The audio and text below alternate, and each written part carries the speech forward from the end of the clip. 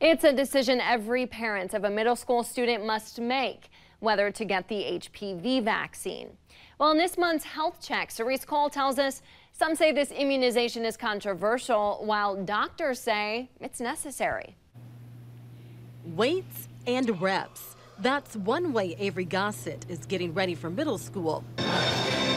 It's part of a summer conditioning program for incoming student athletes. And then just look right at me here. She's also getting ready Perfect. with a required seventh grade physical. All right. The exam is more. pretty routine, except for one thing the HPV vaccine. Well, HPV is uh, human papillomavirus. Um, it's a virus that approximately four out of five Americans will get sometime in their life.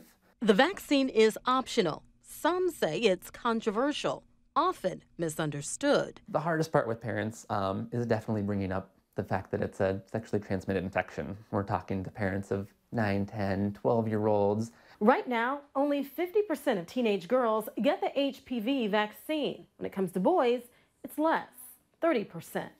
Dr. Todd Eberle says it is worth considering, given nearly 80 million Americans currently have the virus. That 80% of Americans will get it um, it's much easier to protect before than after the fact.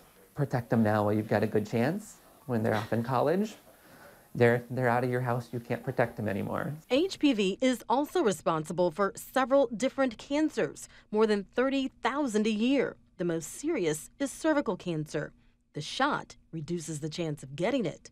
American Cancer Society has actually made a goal to eliminate um, HPV associated cancers, those 30,000 cancers a year, um, by 2026 um, by getting more people vaccinated. For Avery's mom, it was an easy decision.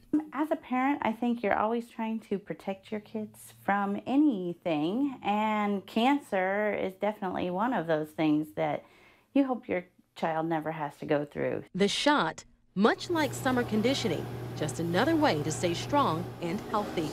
In Fremont, with photographer Dustin Dales, Serese Cole, 6 News. Doctors recommend getting the HPV vaccine at ages 11 and 12. Girls can get it as early as 9 and as late as 26. Boys can get the shot until they're 21.